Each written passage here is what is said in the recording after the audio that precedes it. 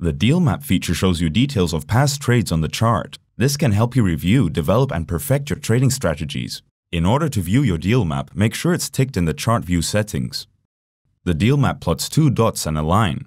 The dots signify the open and close of a trade, with the line showing the trend direction it followed. The deal map's color shows whether the trade produced profit here in green or loss here in orange.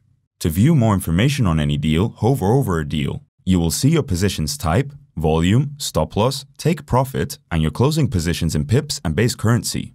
For easier inspection, you can keep the deal information in view by simply clicking once on the deal point.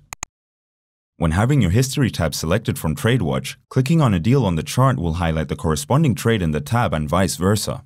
You can also open a deal on its chart by double-clicking a trade in the History tab.